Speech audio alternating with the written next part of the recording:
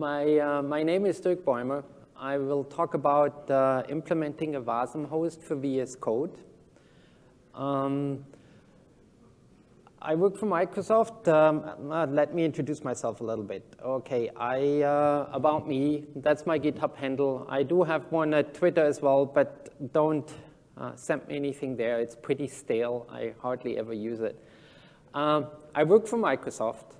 I work on VS Code since basically it came into existence. That's 12 years ago. Before that, I worked uh, on Eclipse and uh, Rational Team Concert. And before that, even that, I worked on a development environment that very likely no one knows. It was called Sniff, was produced by an Austrian company called Take 5. So I have a long history in the IDE space and in the editor space.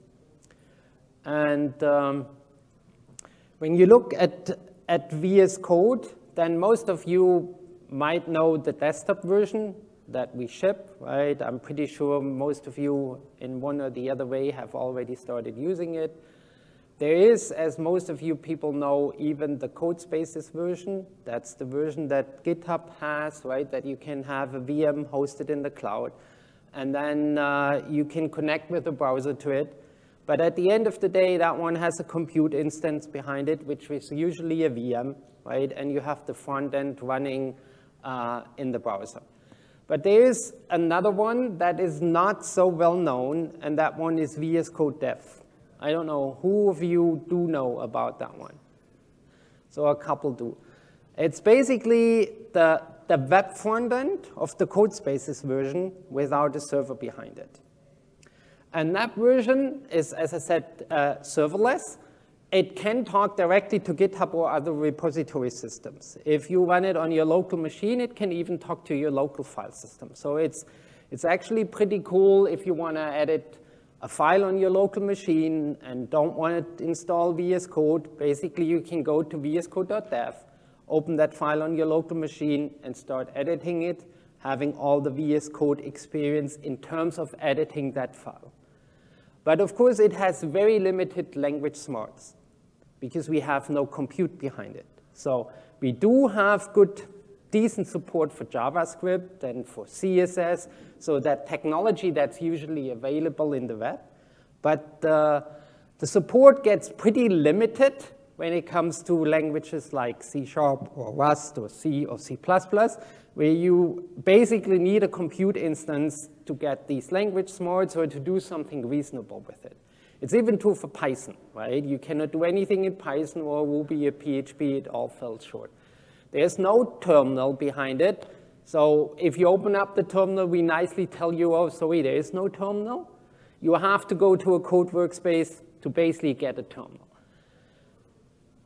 Um, everything that is VS Code.dev, if you go to it, it's basically what at the end of the day uh, powers the GitHub dot button. I don't know if you know that. If you go in a GitHub repository, you can basically, on the code page, press the dot on your keyboard.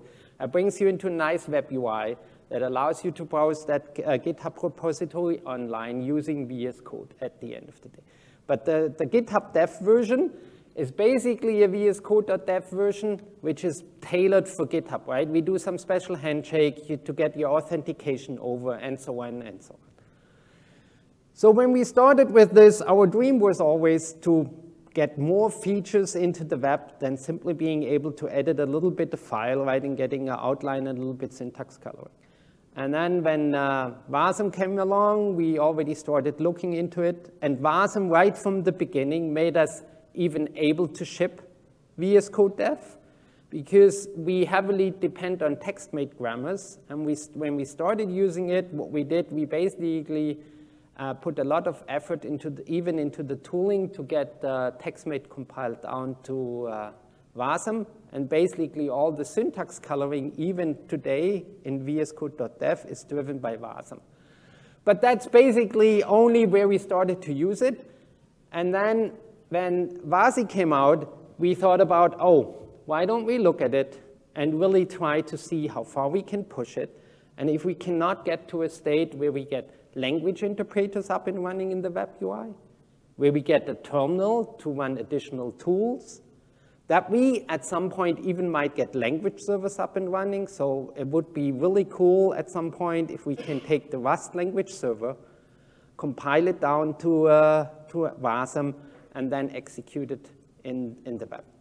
So the, the, the reason why we need that is when we started VS Code, we decided to give people the freedom to implement the language smarts in the language of their choice and not forcing them to implement them in JavaScript or TypeScript.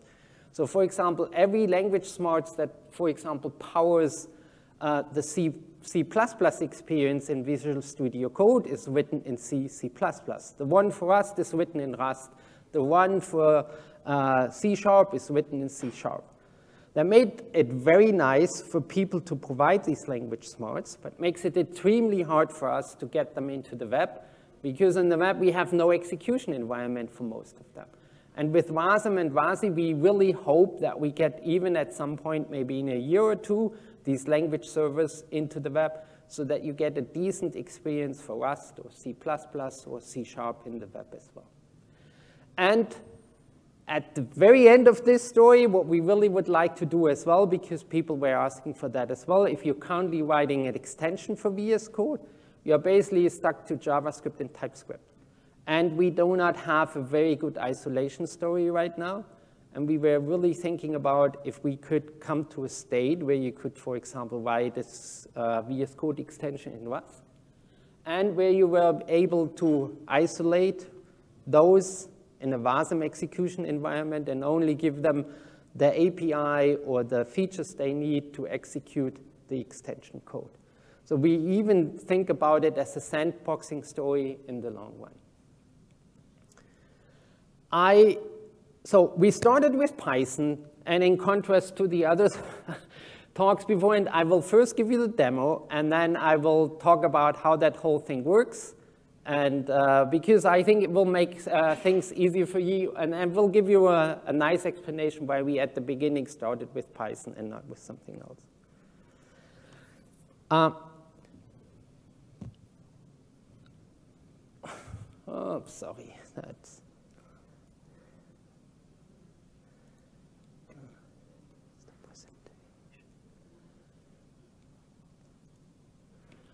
Okay, I hope you see my screen. Okay, that's VS Code Dev running. So it's the insider version of it, right? You see it up there, insider. I will later explain why I use the insider version and not the VS Code Dev version. But from now today until a couple of months out, it will work in VS Code Dev as well. There is some, some uh, uh, not technical limitations. It has to do that we have to uh, enable cross-origin isolation to get this up and running. That's a very viral endeavor, as maybe some of you know. And this is why we only enabled it for insiders, because it, had, it has some uh, breakage ramifications if you start enabling this. What you see here is these files are hosted on a GitHub repository. So they are not local. They are in a GitHub repository. You can basically open them up in VS Code. And these are two um, Py, uh, uh, Python files. The one basically imports a module from another one. And at the end of the day, what we really would like as a first, uh, as a first goal we had is to be able to execute that without having any files locally using a Python interpreter that's compiled down to WASM, right? And if I click it, it will run and will print as expected hello world and to, to really show you that it's not basically uh, some fake, right? If I start editing this, put three in there and run it again, it will print the three. So, okay, so it looks very familiar, right? It was a lot of effort to get something like this up and running, right? The, the, the, the reason is uh, we had to get the Python interpreter down to WASM-WASI. We have to mount the file system so that the Python interpreter sees it, that they look like normal files to the Python interpreter, and all that stuff. To give you a little bit of glance how that looks, what we basically do for the Python interpreter and why, uh, how that works is we implemented for that a little web shell, right? That basically gives you a shell on the WASM file system that we basically give at the end of the day the interpreter with some additional commands which we basically took by compiling down the core utils from that are the, the Linux core utils written in Rust. They were actually pretty easy to compile down to WASM, so we compiled them down to WASM. Uh, WASI, and basically they host on the same API we provide for the Python interpreter. What we do with every workspace we open, we basically mount the workspace files for what runs inside uh, WASM into a workspace folder that follows basically what we do for code spaces. And then we do the rest of the mounting. So if I do an LSLA here, right, I see the files that are in the workspace, right? I can do a cat on them on the app.py, and it's basically lists what you see, see in the editor. We even mount uh, the, the Python interpreter in there. If you, if you go here, right, and look at it, then you see we have mounted Python 3.1 uh, uh, Python 3.12 into the file system, right? And you, you, if, if you go into it, you see exactly what you, what you expect to see, right? You see all the Python files that ship with Python that you need to, at the end of the day, execute Python. Okay, and exactly that happened before as well. Well, we mount everything, this, uh, for every Python process we start, we mount that into the WASM execution uh, context, right? Give them the right file access so that for the Python interpreter, they can basically go and make an F open on workspace slash app.py, and basically it looks for the Python interpreter exactly the same as it would run on your local machine. It's more or less what Wasm does as well, but of course for us it was a little bit more complicated because we had to map everything onto what VS Code provides, right? We have no operating system underneath, and there was a lot of implementation needed to fill, fulfill basically the POSIX specification of the WASI Preview 1.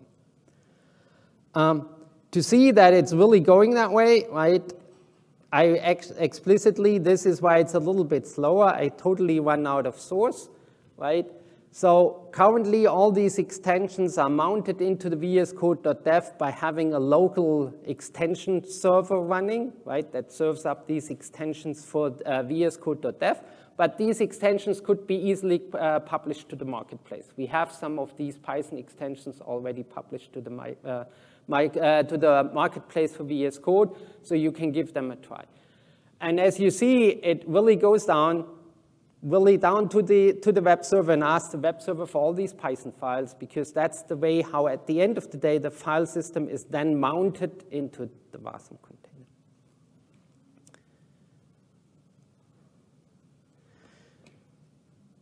Uh, when we did that, we also thought, oh, hmm, huh, now that we have that, would be cool to have ad additional features as well, right? And then we discovered that oh, the, the VMware guys, they compile Ruby and PHP down to Wasm Wasi, and I thought, oh, as a proof of the concept would be cool to find out, uh, yeah, do we, is it good enough, right?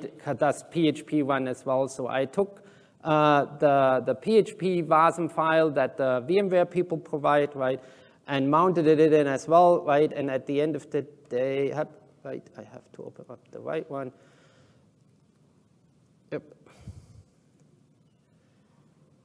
you are able to run the Python, uh, the PHP stuff as well, right? Because it's at the end of the day using exactly the same techniques. I mount in the same files. It maps to the same underlying VS Code file systems and so on and so on.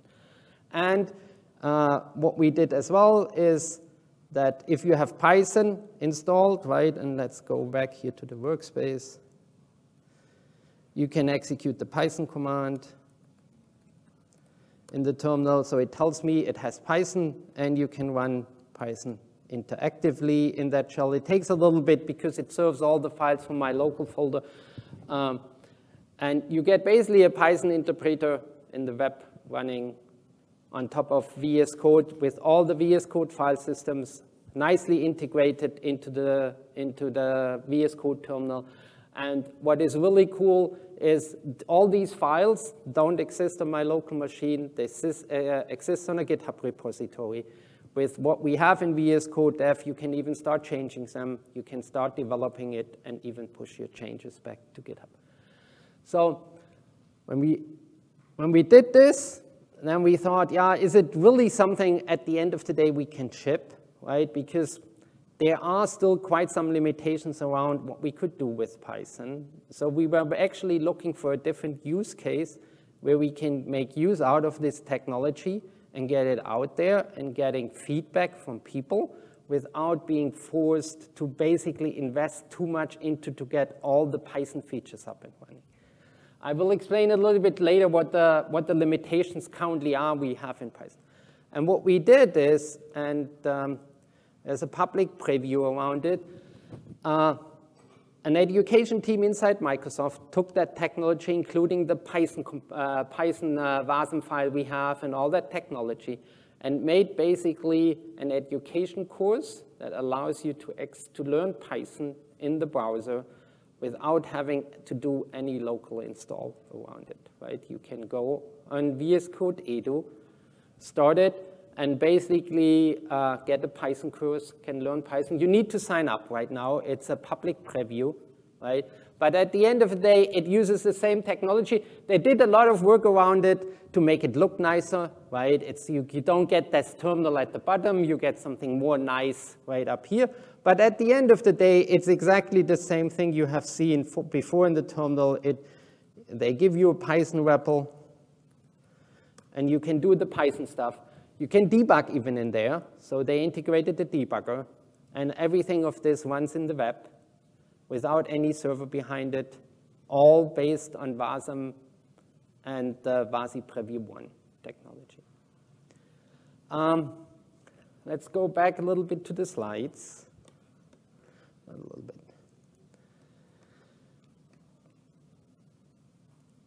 Let's talk a little bit about the the limitations we have, right?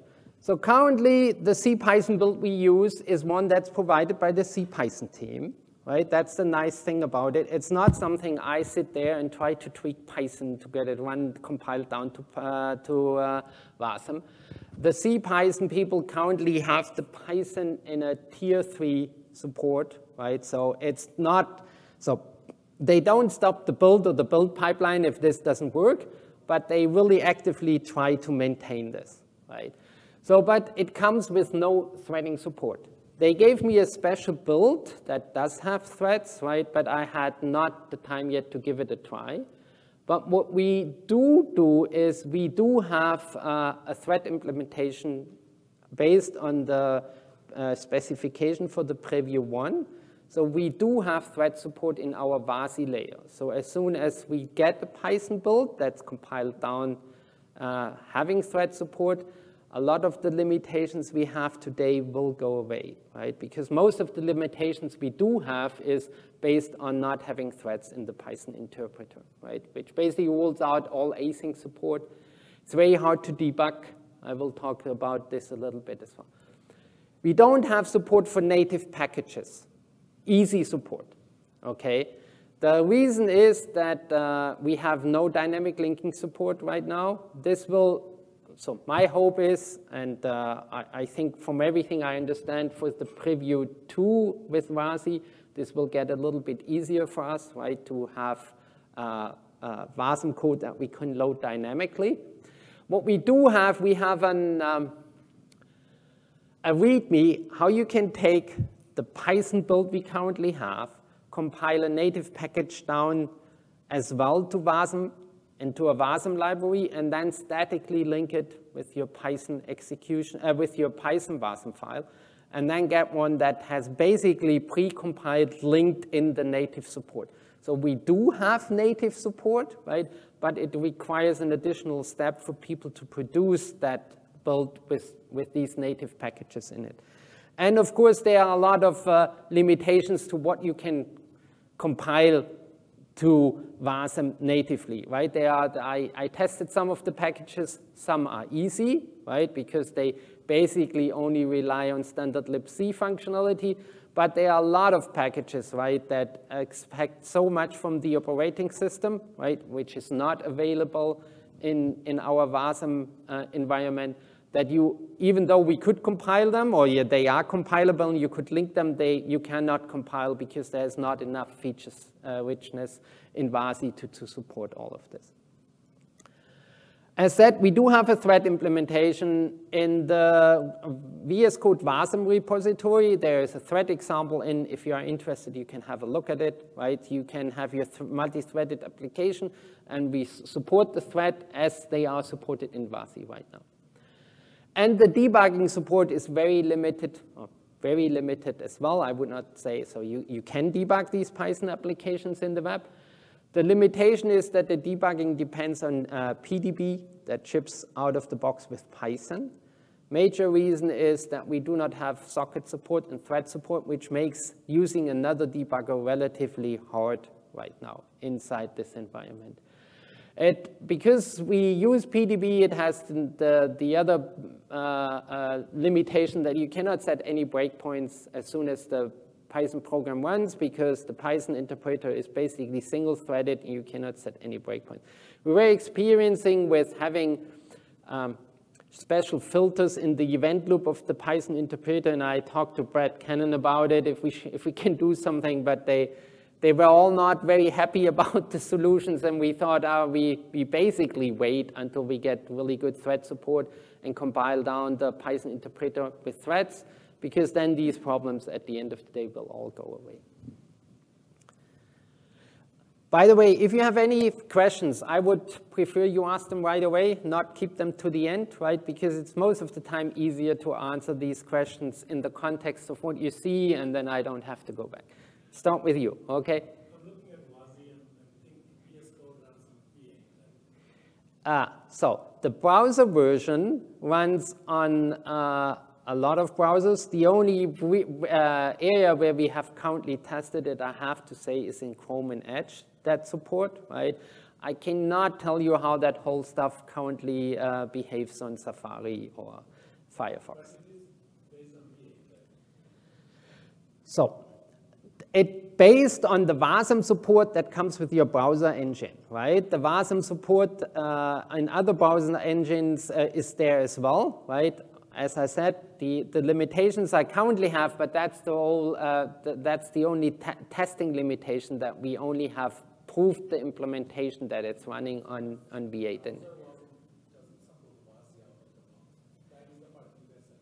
No, no, the, the, the WASI support does not come with the browser. The WASI support is something you basically plug into the WASM execution engine. And how that is plugged in is basically standardized. That's more or less what the guy yesterday demoed with Jco, right? When he did his stuff in his browser, it's the same technique that we are using, right? We are basically given the WASM execution engine the imported function it needs so that they can basically read from our file system, right? And that's basically standard. That will uh, uh basically work with all WASM execution engines that are out there, right? It, so everything you see in the web runs one-to-one -one in the desktop version of VS Code as well, because Node comes with the same WASM execution engine because it's based on V8, so you can, it, you can get this Python interpreter, this example I showed you, it runs on the desktop as well. It's not very useful there because you have a better Python interpreter there, but it proves that there is a lot of possibility even for the, for the desktop version because everything we do basically always runs on the web and in desktop. Uh, so you say here that you don't have support for native Python packages. We do have full support for non-native Python packages. So you, you so uh, what what you can do very easily. So the the Python interpreter you can uh, it, the Python interpreter can come in two ways into that system. Either it's bundled up with the extension. That's how we ship it out of the box. But you can configure that the Python interpreter with all the modules you want to use comes from a GitHub repository or from any file system provider that is supported in VS Code. So what you can do, you can craft your own special Python uh, uh, installation, right, with the packages you want to use, even with linked native packages into it. put that into a GitHub repository, and point VS Code dev to say, oh, by the way, the Python interpreter is not coming with the extension, take the one from the GitHub repository. You can get it from an Azure repository or any repository where we do have support to talk to, right? Can even come from an FTP server if you want. Uh, can you talk more about your WASI thread support? Does it map to web worker Yeah. So our WASI thread support uh, basically maps one-to-one to web worker, right? If we if if the the callback comes from the WASI layer, right? That's basically in that specification and, and, and asks us to create a new thread, right? We do basically what the specification says. We create a new thread. We point it to the shared memory. Uh, it does all the right initialization, right? And then what we actually do inside VS Code, we manage these threads. So when the main, main thread goes down, we kill it. When you terminate the main process, we kill all threads around it. So we basically do what, a, what an operating system does, right? If you start a process and you add threads to it, you have to manage them. So that is basically what we do as well. We do all the management around these threads. Right?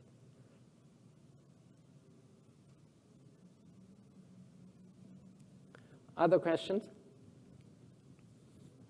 Okay. So as said, we use CPython compiled to, down to Wasm Wasi, and then on the implementation side, on, on the high level, it looks very straightforward, right? Wasi defines, this is basically all um, already our uh, lifted uh, function signature we did for Wasi preview one, right? So the FD read already gets a file descriptor and an array of read buffers, and you basically want to read from it, right? You want to read the, the content of that file into these buffers. Uh, and what at the end of the day, what we do is we do uh, on the VS Code file system and basically read that file, right? We do have to do a little bit of magic, right? Because uh, the file system in Wasi is path-based, the file system in VS Code is URI-based, right? So we have to do quite some mapping around that. But at the beginning, it looks very uh, uh, straightforward. And what we did implementation-wise is basically what the Linux kernel does as well, right? We have the, the Wasi callbacks, and basically for everything you can plug in into that call, in, into our layer, into our uh, layer, different uh, device drivers. We have some for different file systems, and we have uh, some for terminals, and stuff like that. And we do basically the same for the terminal. If a F, F, uh, FD read comes on a terminal, we at the end of the day talk to a terminal instead of talking to a file system. So on that level, it looks relatively uh, easy. The, the good thing is, uh, this gives you access to everything in VS Code where we already have a file system implementation for, right? So if you talk to GitHub, we can talk to GitHub through Wasi transparently. Um, on the other side, the VS Code file system has no POSIX semantic, right? It, it, it cannot speak POSIX at all. And that, at the end of the day, was a lot of work to get that built on top of the VS Code file system. So it was not so necessarily the, mapping problem, right? It was more getting all the semantic expectations that come with the POSIX system at the end of the day implemented on top of this, right? And there's a little bit more to it, right? The next thing is the whole Wasi API is sync, whereas the whole VS Code API is async, right? Then uh, VS Code's API, right, from our design here, everything that we do in VS Code, every extension code runs in its own, when you are in a browser, in a web worker, if you run in a desktop, it runs in its own process, right? So the reason for that one is that we never want an extension to in any way block the, the save or the typing or something else that you have to do in the editor. This is why this code is currently already isolated, but it's usually isolated into one web worker or into one extension. So, and that's the worker or that process is the one that has the API. So the problem is we could, in that, basically run the WASM code. But since the WASM code is executing sync, it will block the whole uh, extension host worker or process, which at the end of the day makes it impossible for any other extension to do any work. So from a design principle, what we did is we basically offloaded all WASM execution in its own worker. But of course, whenever we get a callback to answer something that WASI wants, right, if they want the content of a file, we had to go back to the extension host worker, synchronously, right, compute the result asynchronously in the extension host worker, and then at the end of the day, bring it back into the WASM execution worker, right, to basically give that result back. Um, the implementation is based on shared array buffer and atomics, right, to make the thing sync at the end of the day again. Long term, we want to base it on the WebAssembly JavaScript promise integration API. That one, there is an experimental implementation for that one in V8, but um, we decided to not go with it, especially when we started the effort, it was not there yet, right? And it's, it, we decided we go with the shared array buffer and atomic synchronization. And I will quickly explain how that works. So what we do is that we have the extension host worker, and on the other side, we have a WASM worker, right? And this whole thing starts that we send a message over and said, okay, we want to execute this WASM uh, uh, uh, WebAssembly module, right? And then we do the usual stuff, right? We create it, uh, we, um, then that one, for example, prints to the console because it has a print statement in there, right? Then on that, in that moment, we go into the WASM layer and say, okay, we want to do an FD write on the file descriptor zero. And then that one basically creates a shared array buffer and writes all the data that it needs to transport over into that shared array buffer, right? Then uh, we put a wait into that thread and say, okay, we wait on the first bit of that shared array buffer until that goes from one to zero, and then we basically halt the execution on the uh, worker side. And then we post the message over because the other side still has an event loop, right, the extension host thread, to basically read something from that shared array buffer, right?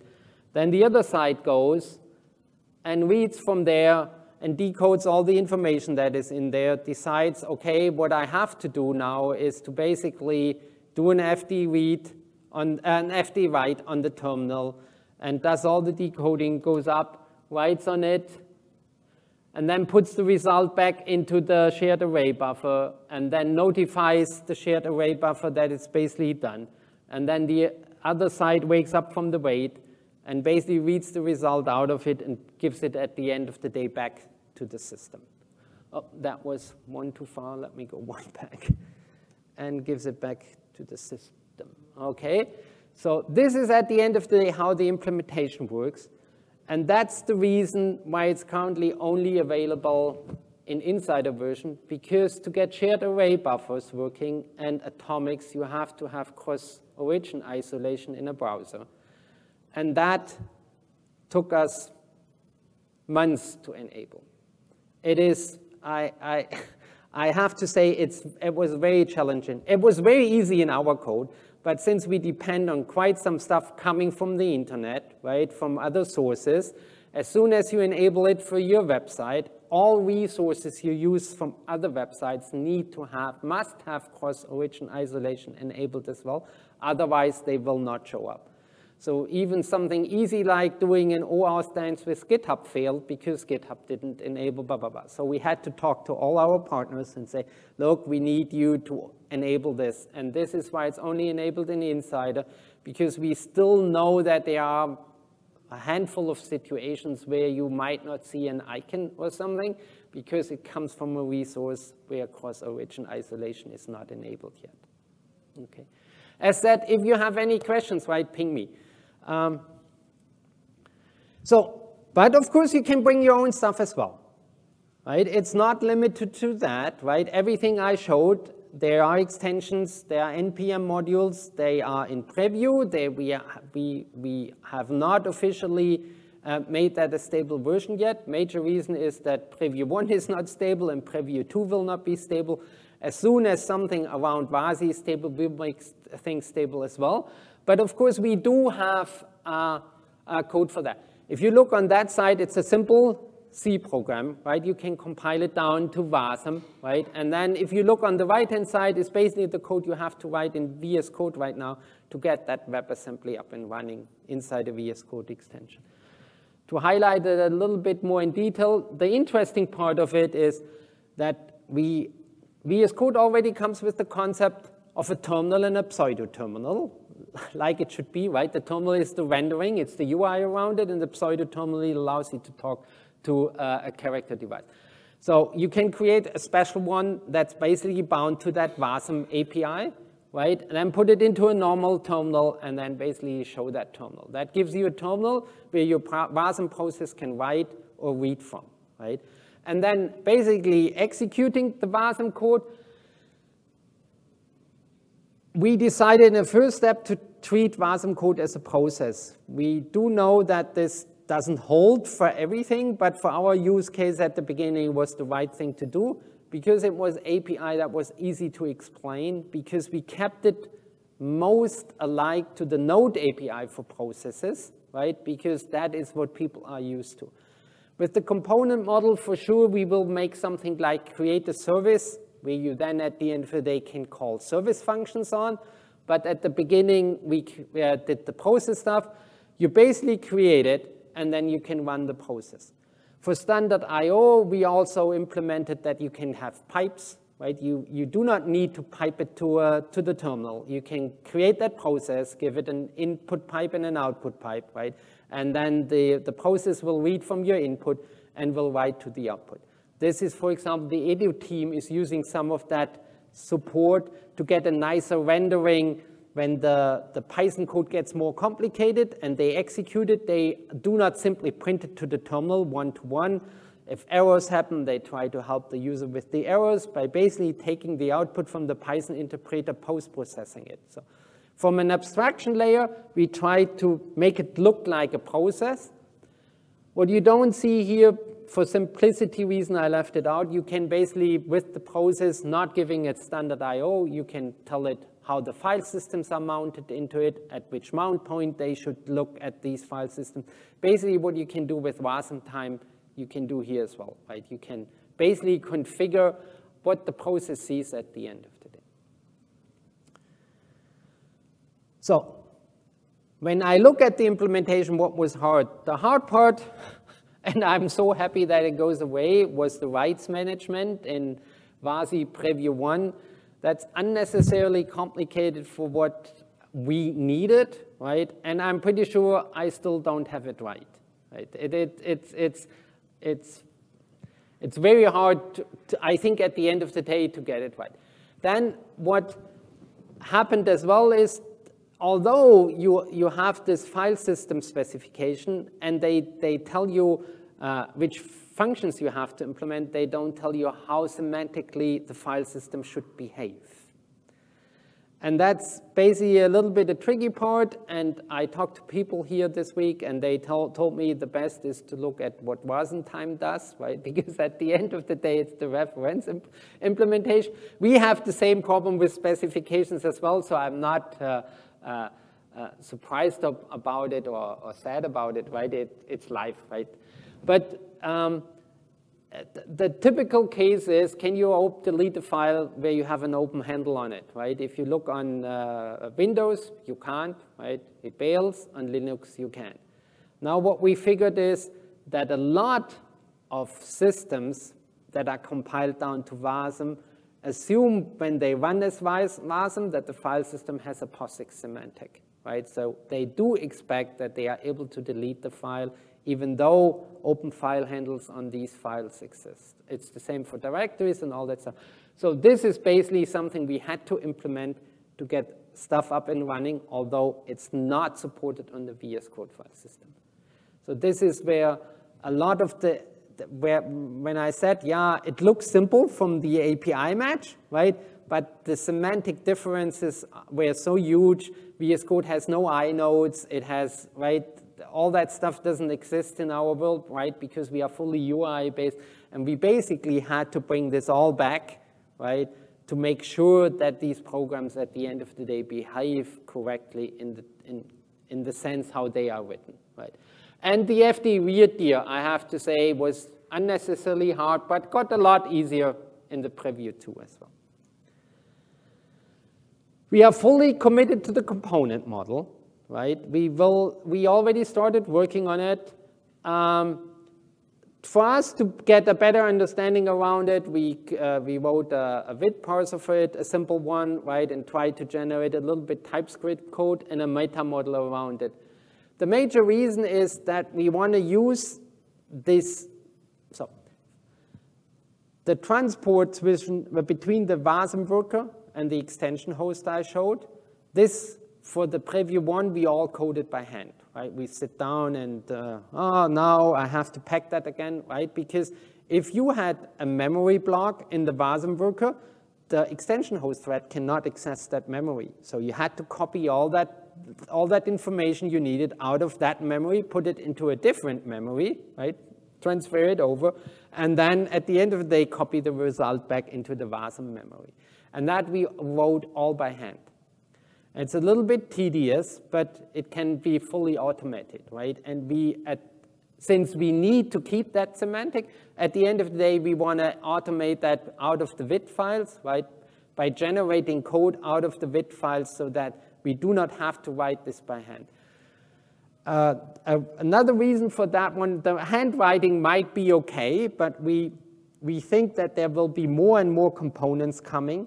And if people want to take a component and want to implement it on top of the VS Code API, we do not want to force them to do this low-level management of uh, mapping memory back and forth uh, themselves. It would be nice if we can generate them and tell them, look, this is the service API you get on the extension host worker side.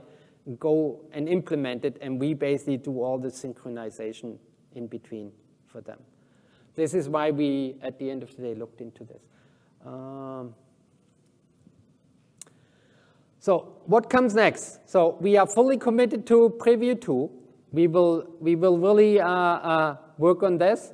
We will try to uh, um, look into what it means to get language servers up and running.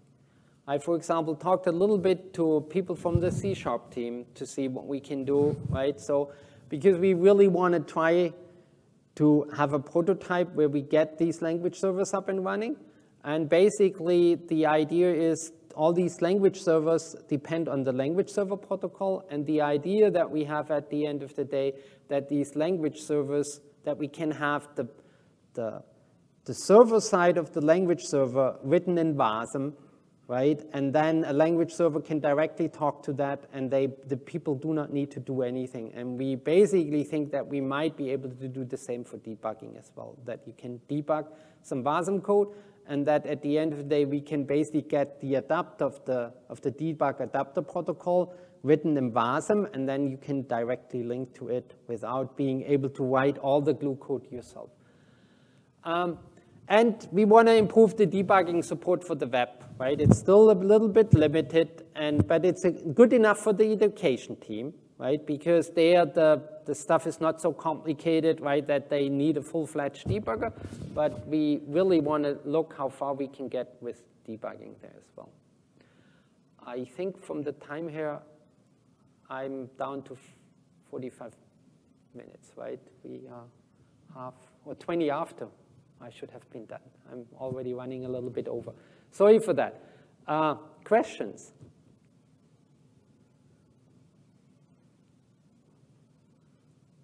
You. Uh, for example, I have a, like a use case, for example, I would like to implement extensions that, uh, for example, is compiled last, last, right? Yep. And uh, I would like to have access to file systems. Yep. What is the best uh, place to start with this? For example, I already have like code that compiles to assembly. Mm-hmm. Uh, but I would like to integrate this into Visual Studio extension.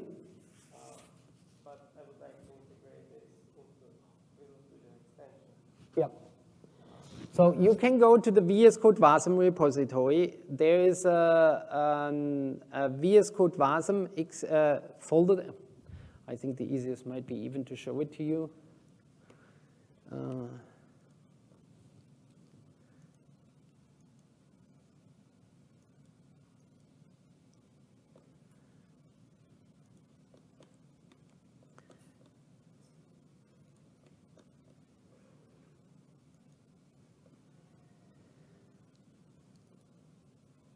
so if you look here, you find that in the VS Code uh, WASM repository, there's an example, okay? And that example is basically extension of the, that basically has a C program that compiles down to WASM and basically shows how you get that basically executed and bundled up as an extension published to the marketplace, right? The, the extension you will publish to the marketplace will contain the WASM binaries. It can read them, how that is done from the marketplace directly with all the uh, site uh, uh, files you need, right? And you can mount it into your file system and then basically execute it. Yeah? Um, So now that you have the WASM support and you're talking about things like um, putting the LSP into WASM and Yep. things like this, you could easily see a plugin becoming pure WASM. Um, Yeah. But then I guess we kind of struggle with uh, a different tool, maybe, a different version of the tool maybe in the plugin versus like on your command line, right?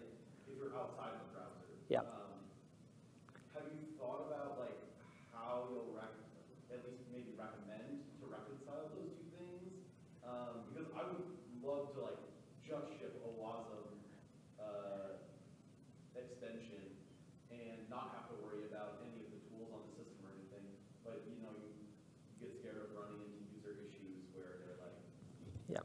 I, I tried to run it with my tool locally and. It, yeah, yeah, it produced a different result at the end of the day. We, we, we see the problem. I, so we, we think as long as we ship it, the, the major target is the web, right? There, there will be not so big surprises, right? Because the people are not used to have access to their local stuff on, in, in the web anyways, right? With, if, if people start using it on the desktop, yes, of course, it will get a little bit more confusing, right? We, we started to discuss internally if we should ship this out of the box by default. So for example, if, if, if people open up a IPy notebook, right, it would be cool, oh, they do not have to install all that Python dependency stuff to get a little bit about, uh, uh, to get a, a, a basic Python execution environment up and running. But we see the problem that comes if we start doing it. It will always be a little bit different to what you have on your local machine. And then, actually, I don't have a good answer yet for you, to tell you the truth. Um, I'm rambling a little bit because I don't have one. Uh, it's a very hard problem, right? I think for the web it's acceptable. What we do right now for the desktop, it might not be. Um, And so specifically for the Python thing, you were shipping a, a separate extension than the, the, the main Python. So, uh, c- yeah, currently we do. We talk very actively to the Python team. What we would like to see happening that, and the Python team is working on it, is that they abstract out the execution part of the Python extension so that at the end of the day, we only bring the execution part to it, right? Currently, we bring a little bit more. The reason why we are not there yet is because the Python support we have on the WASM build side is so limited that they say they need to sacrifice so many things that it's currently not worth looking into it. But as soon as that support gets better, and it will get better with threads and more WASI support, right? The difference will not be so huge anymore, and they very likely will be able to do uh, stuff exactly like this, right? That you at the end of the day plug in execution environments, and one will be that one.